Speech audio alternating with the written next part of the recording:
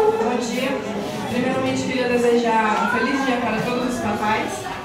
E eu peguei aqui um poema que fala sobre o ponto de vista, o olhar que o filho tem para o pai, do desconhecido ao eterno. Que diz assim: talvez, talvez no primeiro toque, talvez no primeiro olhar, talvez na primeira vez que eu ouvi você falar, que eu segurei sua mão, que eu recebi atenção, pequeno, recém-nascido. Eu não tive consciência e essa minha inocência lhe fez um desconhecido. O tempo não mudou os olhos, mas mudou o meu olhar. Passei a lhe conhecer, passei a lhe admirar e muito observador, observei que o amor é algo que se constrói. Já é, é algo que se constrói. Ali eu tinha percebido que aquele desconhecido já era meu grande herói. Com o tempo, com o tempo acelerando, eu cresci mais um pouquinho. É quando a gente acredita que já conhece o caminho.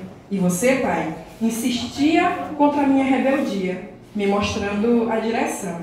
E o olhar do adolescente passa a lhe diferente. O herói vira vilão. E você, tão paciente, espera o tempo passar. Com a virtude dos justos e o dom de perdoar, me ver amadurecer e perceber que é você, que você é cuidado, é abrigo, é conselho, é proteção. E de repente, o vilão virou melhor amigo. E o tempo, o tempo ainda acelera, não volta, só vai para frente. Resta lhe guardar o passado e aproveitar o presente. Do seu lado, o futuro nem parece inseguro.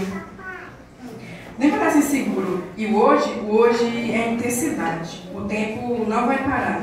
E um dia, sem avisar, o tempo. E um dia, sem avisar, o amigo vira saudade. É aí que carne e osso se transforma em sentimento. Dessa vez sim, o tempo para. E é justo nesse momento que aquele desconhecido jamais será esquecido. Um sentimento tão terno, um amor que é de verdade e faz o que era saudade se transformar em eterno.